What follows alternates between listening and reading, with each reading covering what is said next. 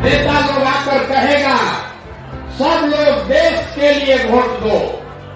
कोई कहता है अपने जात वाले को जिताना है, इसलिए वोट दो। कोई कहेगा, मुसलमान को हराना है, इसलिए वोट दो। कोई कहता है लालू जी का लड़का को राजा बनाना है, इसलिए वोट दो। किसी को मोदी को प्रधानमंत्री बनाना है, इसलिए वोट दो। हम आपको एक पंक्ति सिखा रहे हैं। वोट जिसको भी देना है दो। लेकिन एक बार जीवन में वोट अपने बच्चों के लिए दो, अपने बच्चों के लिए। नेता के लिए नहीं, देश के लिए नहीं, जात के लिए नहीं, समाज के लिए नहीं।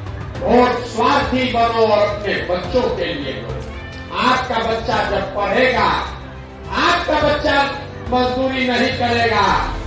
आप मज़बूत होइएगा आपका समाज मज़बूत होगा, बिहार मज़बूत होगा और उसी से देश मज़बूत होगा। जय बिहार!